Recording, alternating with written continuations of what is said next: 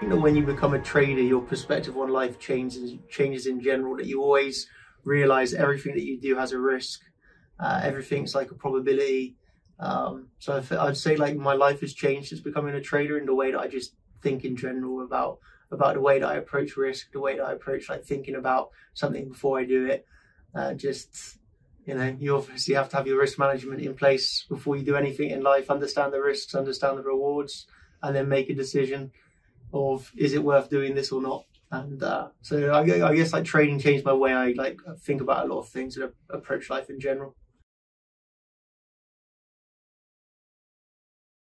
I would not say it's made me more fearful. I would say it's it's just made me approach the way I think about something differently. But I wouldn't say it's it makes me take less risks or or more risks necessarily. Just changes the way I approach life in, in terms of something I may have just done before and just you know went for it. Now I'm a little bit more methodical, thinking about you know weighing out something more before I do it. But I wouldn't say it's more likely to make me or you know I'm not going to be as scared to do something that I would have done before. It's just that now I'd I maybe just like approach it in a different way I'm just weighing things out before I do something.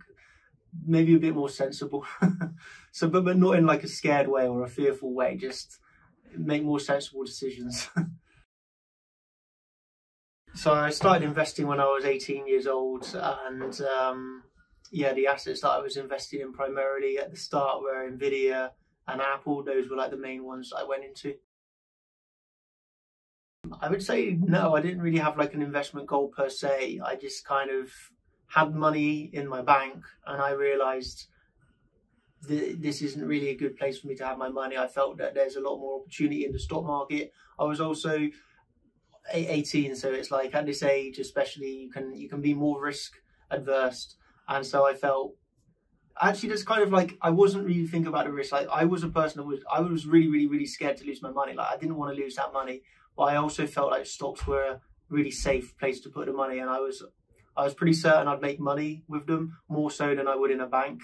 Um, at the end of the day, I knew there was the risk it could go down, but I felt really the that was kind of low. Um, so yeah, I went for yeah, like at the time they weren't nowhere near as big as they were now, but I was like really into computers, really into technology, and like I saw the future of these stocks. So they were like fundamental picks. And well, I mean, now like 12 years later, obviously they were, they were really good picks. But um, yeah, at the time, just I felt that they were long term really good good choices. And um, yeah, I went into them with no real um, no real goals or targets of those stocks. Just buy and hold it for rather than putting the money in the bank. I didn't think, oh, in one year I'm going to take profits or anything like that. uh, non-financial advice opinion. Uh, stocks are still a, a safe investment for myself personally. I am like very comfortable investing in stocks. The reason why I'm more comfortable believing in the future of a stock is because it has like a real world company company behind it. Like you have, you know, if I think of a company like Apple, the probability of Apple dropping ninety percent is very unlikely because they're a massive trillion dollar company thousands and thousands of employees. You know, there's a real working product behind it. Everybody, you know, lots of people have iPhones. Like, there's a real product behind it that's not going to die overnight. Whereas when you compare it to something inside the cryptocurrency market, like an altcoin, the probability of an altcoin dying overnight, well, let's just say it's a lot higher than a, a real world asset sort of thing like Apple or Amazon or, or Microsoft. So for me, yeah, I'm still comfortable investing in stocks because, yeah, at the end of the day, I can actually see what I'm buying or what I'm putting my money towards a stock share rather than a crypto altcoin, which I have no idea who the even what the product is. You know, it's just a white paper at the end of the day. None, not many of them have working products. Stock market at the moment is in a little bit of a, um, a hard place because it's it's dropping really hard at the moment. Well, it dropped really hard, it rallied up, and it it rallied up to like a level of resistance that we were ready and waiting for during the whole of that rally, and it rejected at that level. So for me, it's like just rejected off of its key retest, and if this key retest is not reclaimed, then the stock market can can drop again really heavily, and you get like your you know your your sell off, the correction, and then you expect another large sell off to break that last low. So if this is correct, then now so to speak, would not be the best time to invest in a stock in the short term because you're expecting another drop to come. In the long term, it's not the end of the world investing if you invest slowly into the stock because overall I'm expecting another rise. So personally, I've got like let's say an outlook of five to ten years. I'd be comfortable buying a stock now because I'm sure in five to ten years I'm going to be up.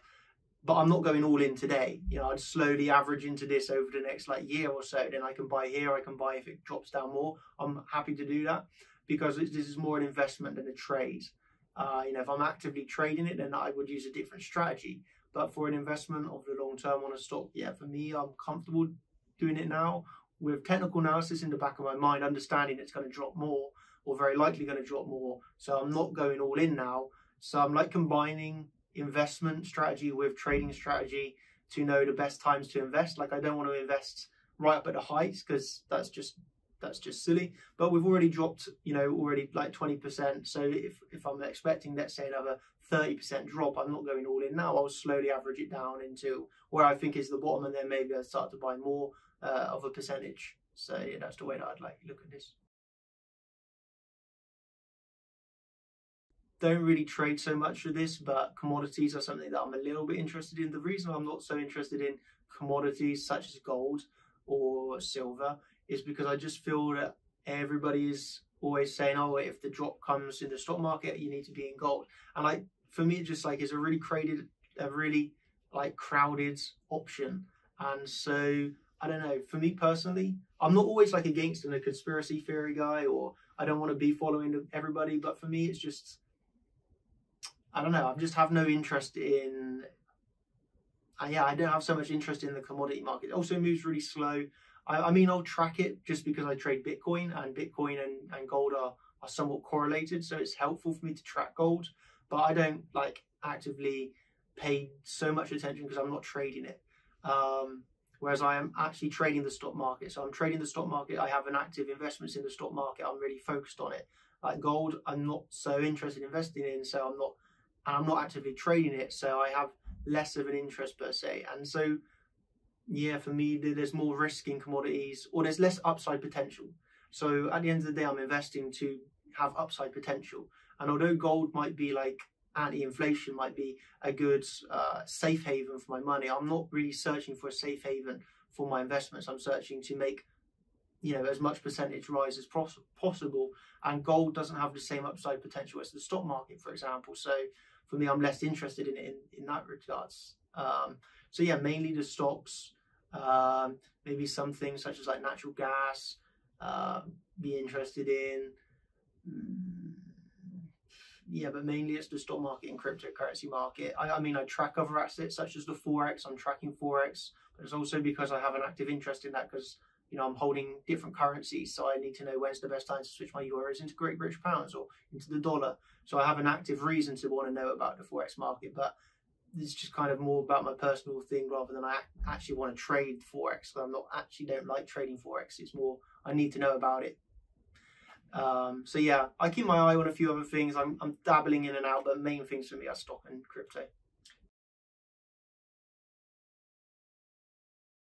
So for me, they are very, really, really, really important. And also, like one of, um, I know that I maybe, maybe like you just said, you don't want to have like these safe haven assets, but but for me, yeah, I'm not interested in gold, but I'm very interested in in in housing. Also, housing, in my opinion, still has like a lot of upside potential. Like some of the houses that I've bought have doubled, tripled in price. Um, you know, see gold over the past, you know, few years. It's exactly the same price as it was like ten years ago. So it's like the the the the, the differences are for me real estate is really safe in my opinion like real estate is real estate is a really safe option commercial real estate really safe option you're almost guaranteed money um, every month through renters yeah, period free renters and at the end of the day if i want to sell off the asset pretty much every house i've ever bought has gone up in price so i personally wouldn't sell unless i was forced to sell I would not sell my real estate because it, it generates passive income every month, which is just a positive. Um, and also the way that I invest is, is I never use debt. So there's no mortgages. It's just I have cash. I'll put it into real estate. Uh, so I would personally never obtain debt. To buy anything. i am really against having any sort of debt. But if you have the, the cash and you're thinking where is a good place to put it, well, obviously investments are very good, but also you want to have a diversified portfolio. So I wouldn't go all in the stock market, all into crypto. I'd split up a little bit of crypto, a little bit of stock market, a little bit of real estate, and then yeah, then you're diversified. Should the worst happen and something crashes, but you're going to hope that not everything crashes at the same time or not at the same speed of, of a crash. So yeah, that's the way that I'd approach that.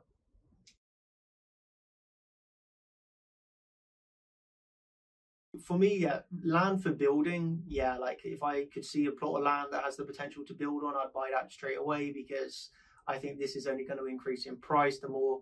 I know there's like this whole thing about the depopulation right now, but I think at the end of the day, there's only going to be more demand for houses, more demand of, of people wanting to own land. So for me, like land to build on is really, really, really great investment. I think this is only going to go up and, and it's beneficial to have this land for agricultural farming. I mean, I have no experience in that. And so for me personally, I wouldn't buy land to farm on because I have no experience. I, I, I think, yeah, I could hire someone and, and create a job like this, but I've already got my hands in different places. So for me, taking on another thing like doing something to do with farming would be, I don't have the time to do all these different things. So I understand it's beneficial. And if you have some experience or you know somebody, great great investment. But for me personally, it's not wouldn't be something I'd inter- be interested in because I, I don't have the time to, to even think about that. yeah, for me also investing in companies, be it yeah startups or already uh, you know built company, that also does interest me. Um, I'm not the type of guy that likes to invest and have a lot of input in the company, but if I foresee like an opportunity that I believe this company is going to go really far or do really be really successful, I would invest into it, but I wouldn't be wanting to have any say in the company because I know what I'm good at and I know what they're good at. And if so, if they have potential, I wouldn't want to come in just because I have money and say, hey, I'm going to buy the company, do this, do that. I'd be like, no, I see some potential here. If I could like invest, brilliant. You can buy more stock and sell the stock, for example you can become bigger, I can help you become bigger, but I'd, I'd let them do everything they want to do. I wouldn't try and change anything. But for me, yeah, that's always something I'd be on like to look, not actively, I'd never look out specifically for an investment, but I've had people like come to me and say, hey, doing this, we need an investment. Are you interested? You know, i I'm not going to say instantly yes, but you know, I'll take a look and say, oh yeah, this is quite interesting. Yeah, why not? Let's go for it. Um, so yeah, it's not something I actively search for, but if there's an opportunity that arises and it's interesting for me, I'd have to have like some sort of interest in it and understand it. And if that's the case, then yeah, I'd, I'd yeah, why not? I'd, I'd put an investment into a company. When I think about, it, I've never really had a bad investment because I got, I started investing in the stock market uh, at the start of a massive bull market. So I got really, really lucky when I started investing in the stock market. I also, when I started to then make money in the stock market and started to invest in real estate, this was also like relatively like early on. Obviously, not really, really early on, but relatively early on.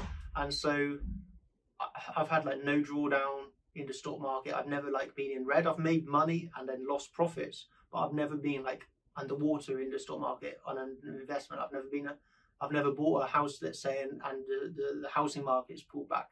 So yeah, I mean, I'm very lucky in that regards that I've always been buying at, you know, buying at good times. So I've never wouldn't be able to say I've made like a, a really bad investment, luckily, because yeah, thankfully I've never made a bad investment. Okay. uh, yeah, I'd say stocks and real estate are my favorite investments. So for me, tech uh, I know some people will have like really different opinions on that, but I still think tech, the bubble can continue. I think pharmaceutical stocks they are never going to be. I don't foresee them having like massive drawdowns and massive crashes. I think pharmaceuticals, tech, and I would also say like an indirect like buy of, of anything to do with real estate or agricultural. Yes, uh, you know, directly pinned to to real estate would be also a healthy investment in the stock market.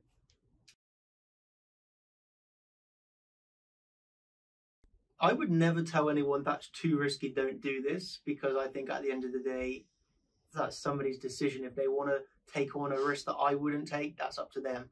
I know myself personally what I wouldn't do, but someone else might be like, hey, this is amazing, I'm going to go all in. I'd be like, wow, I wouldn't even touch that in my life, but you do what you want to do. Uh, but I myself, for example, wouldn't be searching out. Uh, mainly, uh, I have the experience in the stock market. I was going to say cryptocurrency market about this, but obviously in the stock market, you got like penny stocks. Like I wouldn't be. I'm never investing in like penny stocks or actively searching like a penny stock. For me, this is yeah, you can make loads of money, but for me is not a good use of my time. It's the same in the cryptocurrency market. You get people that are searching out like a, uh, an altcoin you've never heard of in your life. Like in my opinion, yeah, you might be one in a million lucky. Uh, like I got lucky with Shib, like, but that was extremely, extremely, extremely lucky. I even know I got extremely lucky with this. So it's like at the end of the day, if you're searching out these random altcoins, you might think, hey, I found the needle in the haystack. I'm going to get ultra lucky and make a load of money. The probabilities are you're not. Like, that's just a fact. You're, you're really not likely to do it. So I would say at the end of the day, do whatever you want, do what makes you happy. But I would not be investing in random altcoins or even low cap altcoins. I'm going to stick to the main ones. Again, I'm mainly trading the cryptocurrency market. I'm not really investing in cryptocurrency, but still, I'm only going to be trading tops, top, top assets with high market caps, lots of volume through flowing through them. So, yeah, I would kind of say play a lot of caution if you're around, if you're searching for these alt, altcoins. Also, you're going to get shilled I don't know how many altcoins. This is the next big thing. This is going to be the next times 100. This is where you want to do it. And let me tell you, if someone's saying that, it's not going to be the case. Like, very, very, very, very unlikely. If it's all over YouTube and you're getting shielded, it's going to make a lot of money. Um, maybe in the long term, but in like, oh, this this thing's going to times 100 in in this year, and it's probably not going to. They they probably have some sort of ulterior motive of why they're shilling you this. And I think cryptocurrency is like shill central everybody's in it for themselves. You have to be really, really, really, really, really careful because the majority of people are not here for you. They're here to take advantage of you. And so, yeah, I personally would just stay clear of all of that because it's really good to sell the dream, but yeah, you're probably going to get wrecked. So I would not be looking at that. But again, do whatever you want at the end of the day. So I, I, suppose I would like also say to myself like what would I do today if I was just starting? And I, I would say to myself right now the market conditions are so much different than when I started. Right now it's not as easy as just buy and make money. You, you definitely need to know what you're on about.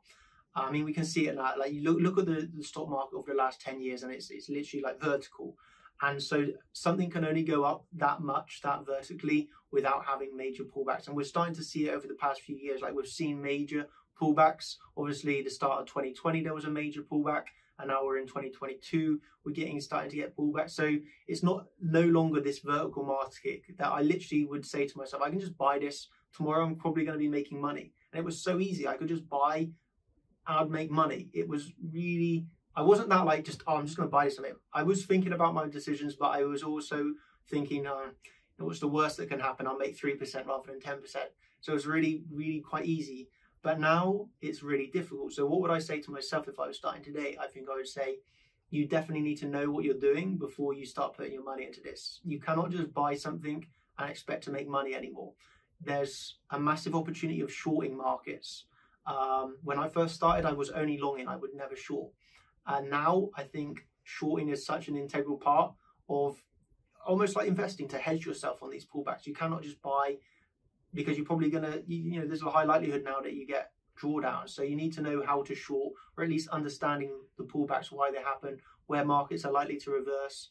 So I think like the most fundamental thing as a beginner, someone that's never done the, done this before is before you put in money, educate yourself. You know, do something to educate yourself of understanding why the markets move like they move, where markets are drawn to, what's liquidity, um, you know, basic things like this, knowing where to place a stop loss, knowing where to place a target. Again, if you're investing, you might not want to know about stop losses and targets, but you are going to want to know about market structure. You are going to want to know about Fibonacci retracements because even as an investor, I'd still want to know about that because this is like crucial information of why the markets move like they move. Um, so yeah, I'd, I'd say to myself, at least have some sort of basic understanding of Fibonacci, basic understanding of market structure, basic understanding.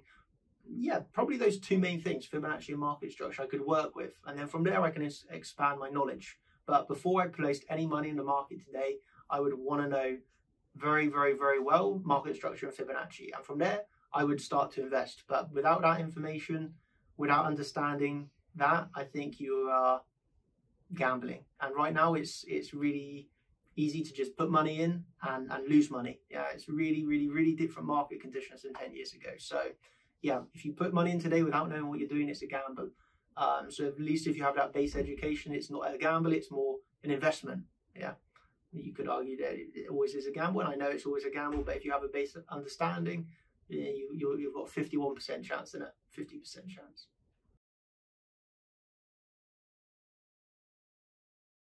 Uh, to be honest, I'm not like a really pessimistic guy. I, I, am actually really positive, and I do believe uh, the good comes to people who work for it, or at least have the opportunity. So I that said, I do think there's going to be major. I think there's going to be like recessions. I think there's going to be a lot of pain and suffering and and bad things going on in the world overall, which is of course likely going to bring down things such as stock market, cryptocurrency. So I think we have to be at least prepared for this, even if we are really positive, even if we can control our own destiny in that regards. We still have to be aware of external factors around us that we can't control. So. Um, yeah, I, I, I think that overall, yeah, there's there's probably more pain and suffering in the overall markets or world to come. But I think at the end of the day, we need to focus on what we can control. What's the point in worrying about something that we have no control over? It's it's really not helpful for you. It's only going to make you sad and depressed. Whereas if you focus on yourself, your next goal, your next opportunity, something you can control, then at least you can do something positive while everyone else is scared and fearful. It's not helpful to be scared and fearful. You're only gonna you're only gonna fail if you can focus on something small step every day, something that's achievable, something that you can obtain. Hey, the world around you can be burning, but if you're in your own little space, happy and positive, hey, I think that's a win at the end of the day. I'm I'm like a really minimalistic guy. Period. Like I don't really, I don't, I don't, you don't really see me going out and buying really expensive things just to buy expensive things or flashing or showing off or anything like that. For me, I, I think the best way you can use your money is well, there's a few things I would do. First of all, if I was just starting out making money, I'd want to put my money into something that's going to make me even more money. Uh, I think that that's the first thing that where people in general would go wrong is make their first, let's say, their first hundred thousand and buy the fifty thousand dollar car. I would do make a hundred thousand put that in something that's going to generate me more money. Then you reach your first million. Once you reach your first million, don't go out and buy the Lambo. Put go out and buy something again that's going to make you more money. And then once you reach 10 million, 100 million a plus, then of course you can have more options of buying more expensive things. But that doesn't mean, I mean, I'm not going out tomorrow and buying something that's really expensive just because I have more money now. It's for me, you want to always think of something that's going to, you again, you can do whatever you want do what makes you happy. I think that's the most important thing. Do what makes you happy. If you want to go and buy the really expensive car, do it. You know, you've got to do it at the end of the day. But for me, with my working and my way of thinking, it's always, is this going to make me more money or is this going to be a burden of me and going to cost me money? And at the end of the day, I know that a new car doesn't make me happy. So why would I buy a new car? Um, it, it makes no sense. So things that would be beneficial or to myself, where I'd be like, hey, this is, I'm happy to put money here of course, an investment, bringing money back, but also things such as charity donations. You know, there's what I don't really like speaking about it so much because there's always this like thing of why do you talk about this on camera? But for, for me, yeah, like putting money in, going. I'm like really big, um, really big in South America. So I've got like charity work going on in South America. We have like charity. We go out to the places where people are literally living with like no roofs. It's like awful, like really, really, really awful. And so for me, you know, I can donate and like change people's lives in that regard. And that's like, that's, um, you know, it's like really like, wow, this is like really crazy. And these people are like so grateful. And so for me, that's like a good use of money. Obviously, like, I think anyone would agree that this is an amazing use of money. So for me, I'd be thinking to myself, especially at the start, you're going to probably want to generate more money. So when you're at your first 10,000, 100,000, I wouldn't be donating everything to charity personally.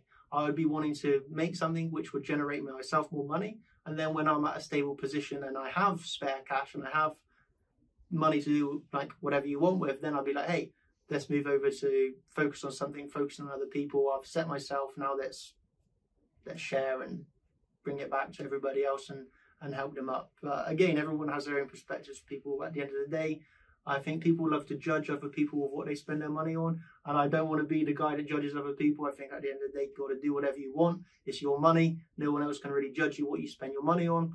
But for me, yeah, personally, I would do it investments or do it in charity work.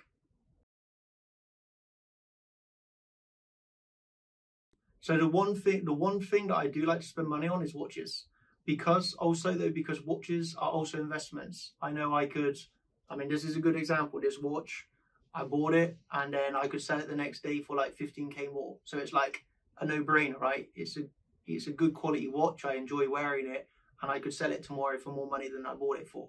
So it's like for me, watches are brilliant investments, but also I love watches. I, I love looking inside them, and the way they work for me is really interesting.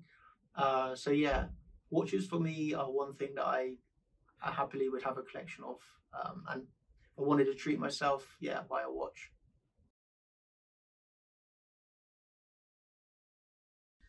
Yeah, so it was it was obviously pretty funny the way that Chart Champions first came about. But it wasn't even called Chart Champions when it first started.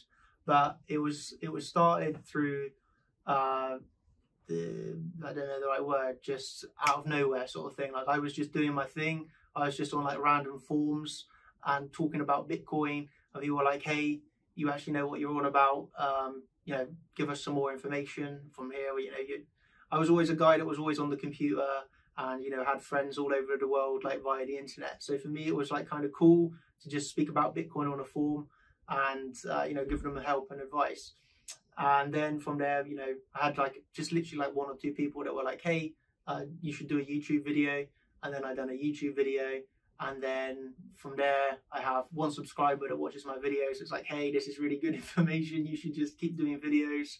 Uh, i just kept on doing videos uh, for one guy. And uh, it was it was just like it was kind of fun because i'd been trading on my own for so long.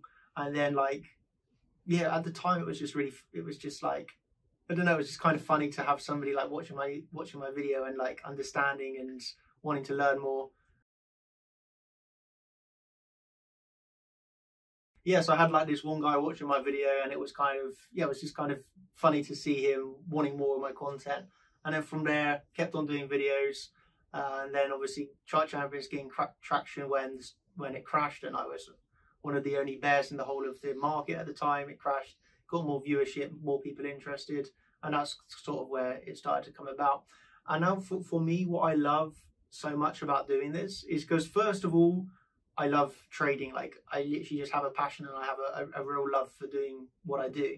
So if I can do what I love or simultaneously like having other people share that love of trading, I think it's like a win-win situation. I do what I love, other people can share that love.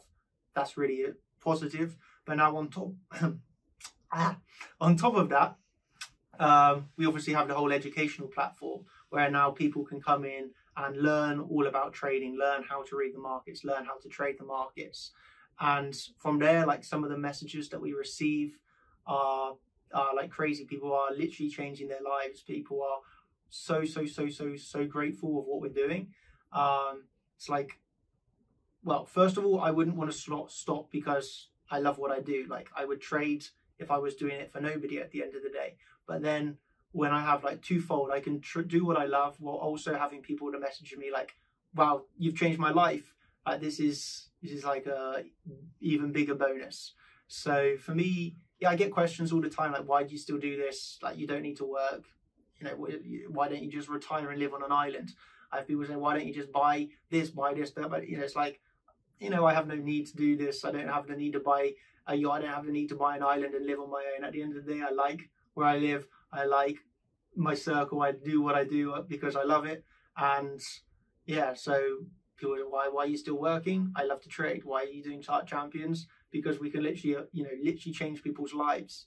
And for me, that's you know that, that that's uh, something money can't buy. You cannot buy somebody saying you changed my life. You cannot buy somebody like just real grateful for what you do. And yeah, for me, that's that's just like really, really happy. You know, it gives you a really big smile. And I think that's one thing that I know is the more money you make does definitely not make you more happy. A lot of people always like, I need more money and I can buy this. I need more money and I'll be more happy. I understand for a certain extent, yeah, if you have more money, you can afford to pay your rent. Of course, that's going to make you happy if you can afford your rent. But there's this, there's not like, oh, I make a million and I'm more happy because there's always something else you want. There's always more money that you can make. There's Uh, just from experience, I know more money is not going to make you more happy. Up to a certain point, I understand the bear when you pay your bills, yeah, you're going to be more happy. But past this, like more money doesn't equal more happiness. And I think a lot of people are really fixated money, money, money, money, money, but they don't really appreciate what they have at the moment. And I think when you can appreciate what you have now and really, really appreciate what you have now, then anything else you gain is just a bonus. And yeah, I think my final word would be yeah, just really appreciate what you have. And love, love like yourself, and love your friends, and love your family, and understand at the end of the day, like the best moment in life, the best moments in life are free. Um, yeah, and just think about that, and, and you'll understand.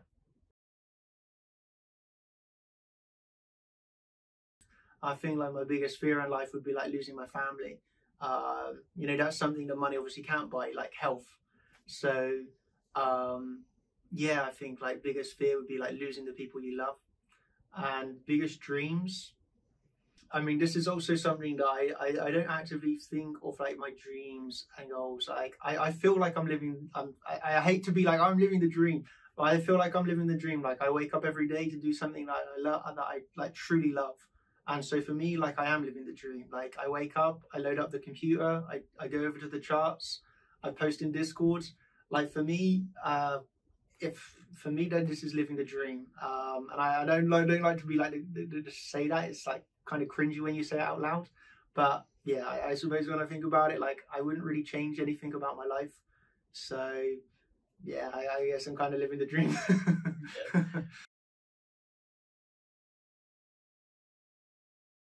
I would say maybe it's doing something that can be left behind or doing something that you can be remembered for or doing something that's really positive that people are going to be like, hey, you remember this guy? Can you remember the impact and what he's done? Like, I think that's that's maybe not the meaning of life, but something like that's really powerful above what you just averagely averagely like thinking about. Like for me, like the legacy of chart champions is something that I'm going to be maybe remembered for when I'm dead. You know, in hundred years' time, there's still people on the website watching the videos like, oh my, I'm learning to trade today via via chart champions, and I, so that's like a legacy of something that can be left behind. Um, so I guess you could think I'm not really sure if this is the right answer, but the meaning of life, trying to build something that you can be remembered for, or tr- or just trying to build something that's positive that other people can benefit from. Um, yeah, that, that, that would be a good way to live, I suppose. And maybe not the meaning of life, but maybe uh, yeah, if you if you're trying to do something positive for other people, then I think that's a good way to live.